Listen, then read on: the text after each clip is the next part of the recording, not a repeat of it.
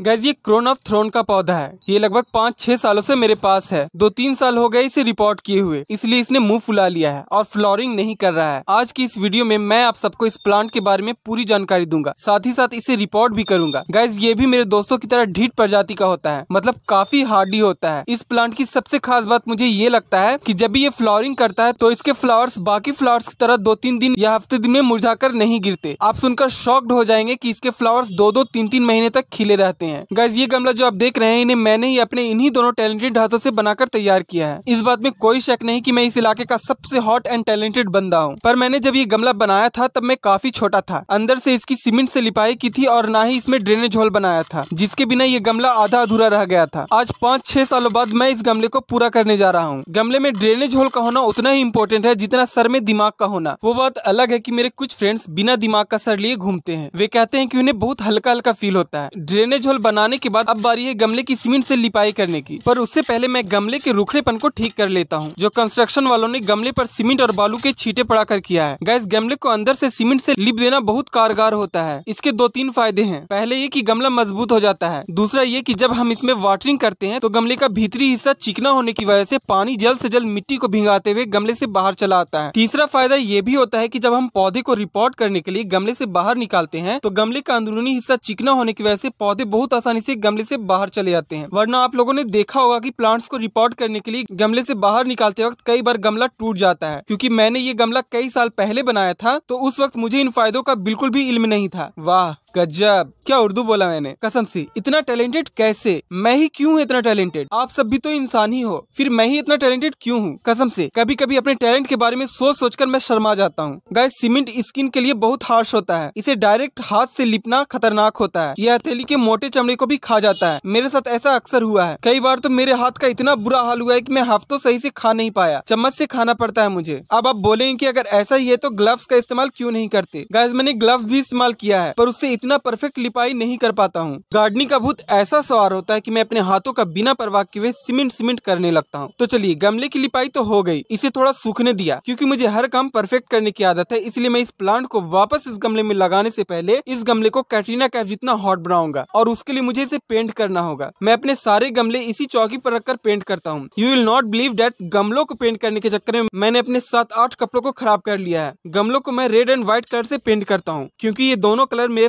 Colours में से हैं। वो बात अलग है कि मैं कल्लू हूँ, इसलिए रेड कपड़ा नहीं पहन सकता। अगर गलती से रेड पहन लेता हूँ तो बिल्कुल छपरी दिखता हूँ। पर कपड़े को छोड़कर जब भी मुझे कोई डोमेस्टिक चीज़ खरीदने का मौका मिलता है तो मैं रेड कलर प्रीफर करता हूँ। हालाँकि एक दो कलर छोड़कर अब मुझे सारे कलर ही अच्छे लगते हैं। कपड़ों के मामले में मेरा मानना यह है की लाइफ में हर इंसान को एटलीस्ट एक एक बार तो हर कलर ट्राई ज़रूर करना चाहिए। मेरे कई व्यूअर्स ने कई बार ये कमेंट किया है कि आप गमलों का कलर चेंज कर दें। ये अच्छा नहीं लगता है। तो भाइयों और बहनों, पता नहीं दूर से वीडियो में आपको गमले का कलर कैसा दिखता है? पर पास से आकर देखें। आपको मेरे गमलों से प्यार नहीं हो गया तो कहिएगा। गाइज़ अगर मैं आपसे कहूँ कि एक सात फुट की चुड़ैल लोरी गाकर छोटे बच्चों का शिकार करती थी तो आप क्या कहेंगे? शायद आपको यकीन नहीं होगा, पर यह भोपाल की एक सच्ची घटना है, जिसपे मैंने एक सात मिनट का वीडियो बनाकर अपने दूसरे कहानी वाले चैनल पे अपलोड किया है। एक मंथरा नाम की सात फुट की चुड़ैल भोपाल के चित्रकुटीर कॉलोनी से छह बच्चों को गायब कर चुकी थी। वीडियो बहुत ही इंटरेस्टिंग है। लिंक इस वीडियो के डिस्क्रिप्शन में मैंने दे दिया है। जिन्हें देखना है वो जाकर देख सकते हैं। ये पेंट वाला वीडियो जो आप अभी स्क्रीन पर देख रहे हैं, ये लगभग दो महीने पुराना है। लेकिन अब स्क्रीन पर जो वीडियो दिख रहा है, ये कल का है। मतलब कि दो महीने लग गए मुझे अधूरे काम को पूरा करने में। वजह है मेरी ज़िंदगी में वक्त का कम होना। अरे नहीं यार, मैं मरने वाला नहीं हूँ। मेरा मतलब है कि इतना बिज़ी रहता हूँ की गार्डनिंग के लिए बहुत कम वक्त निकाल पाता हूँ। अगर वीडियो आज शूट किया है तो फिर मैं भी ये नहीं जानता की वीडियो आप तक पहुँचने में कितना वक्त लग जाएगा। वैसे गैस मुझे आप लोगों से एक बात पूछना था। सवाल ये है की अगर सरसों का साग दो दिन पुराना हो जाए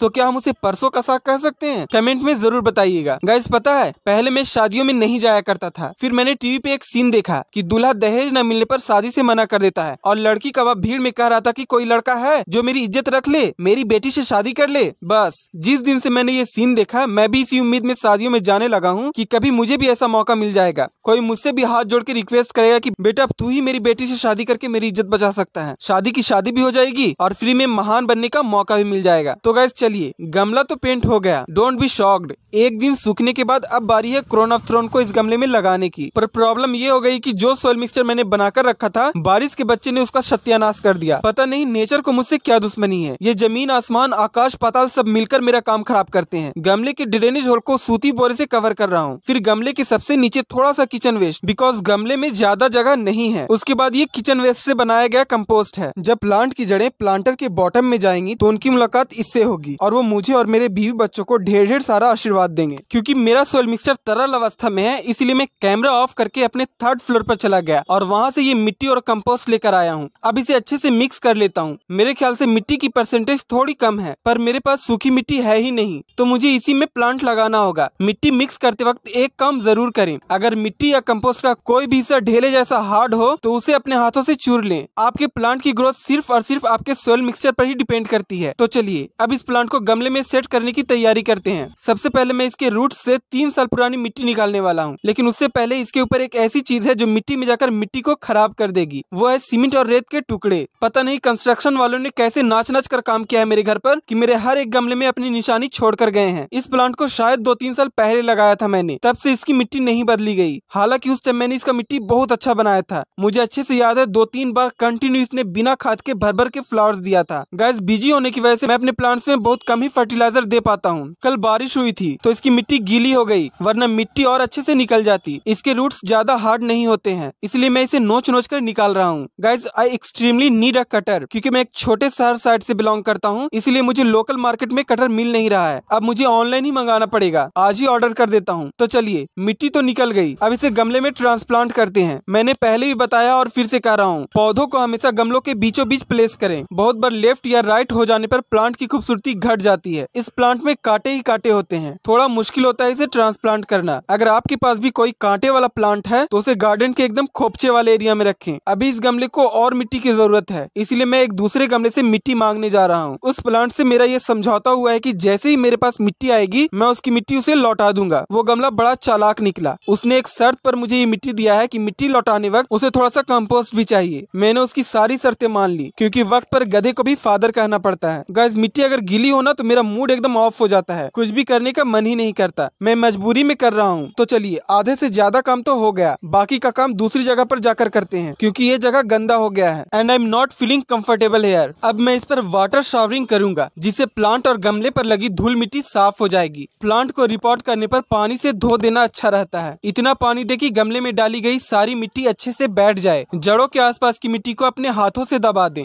वैसे तो ज़्यादातर प्लांट्स को रिपोर्ट करने के बाद शेड में ही रखना चाहिए, पर ये प्लांट कुछ ज़्यादा ही हार्डी होता है। इसलिए मैं इसे धूप में ही रख दूँगा। इस प्लांट का और सूरज भाई सब का चक्कर चलता है। ये दोनों एक दूसरे की कंपनी में बहुत खुश रहते हैं। आज से लगभग तेरह चौदह साल पहले मैंने इस प्लांट को फ़र्स्ट टाइम झारखंड में देखा था। उस वक्त मैं गार्डनिंग नहीं करता था। पर प्लांट्स की तरफ़ अट्रैक्ट ज़रूर हो जाता था। मैं अपनी मामी के साथ उनके जॉब की ट्रेनिंग या मीटिंग में गया था। वहाँ पर मिलिट्री कैंप था। वहीं मैंने पहली बार क्रोन ऑफ़ थ्रोन को देखा था और मुझे पहली ही नज़र में इससे प्यार हो गया था। बिल्कुल झूठ कहा। मुझे इससे प्यार नहीं हुआ था। मेरा प्यार तो कोचिया है टर्टलवाइन है। चलिए रिपोर्टिंग तो हो गया, पर अब इस रायतों को समेटना भी ज़रूरी है। ये चार साल पुरानी डेड सोयल है। इसकी मृत्यु हो चुकी है। इसे पुनर्जीवित करने के लिए इसमें हॉट हॉट कम्पोस्ट एड करना पड़ेगा। गार्डन गंदा किया है तो झाड़ू तो लगाना ही पड़ेगा। झाड़ू देकर कचरे को भी उठा ही लेता हूँ। मैंने दो दिन पहले ढेर सारा कचरा जमा किया था। सोचा कल जाकर फेंक दूँगा, पर बारिश से सारा कचरा धूल मिट्टी भीग कर भारी हो गया है। अब मैं उसे सूखने का इंतज़ार कर रहा हूँ। कूड़ा उठाने का जुगाड़ देखिए। मैं बार बार झाड़ू, डस्टबिन वगैरह गार्डन में लाकर रखता हूँ और बार बार मेरे घर वाले उसे चुरा लेते हैं।